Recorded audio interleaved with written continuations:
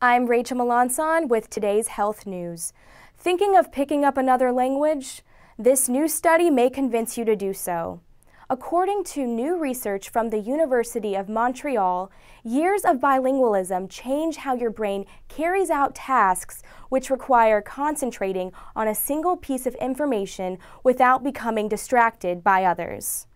When you perform a task, the brain calls on different networks or information highways to get the job done.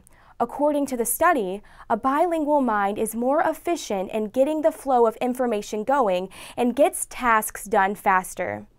To conduct this study, researchers asked two groups of seniors, one monolingual and one bilingual, to perform a task that required them to focus on visual information, the color of an object, while ignoring spatial information, the position of the object, and observed the networks between different brain areas.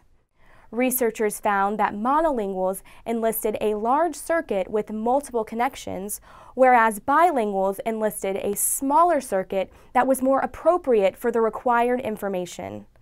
According to this study, this provides bilinguals with advantages as they age, which may be an explanation to why the bilingual brain is better at delaying signs of cognitive aging or dementia. For more health and wellness information, visit dailyrxnews.com.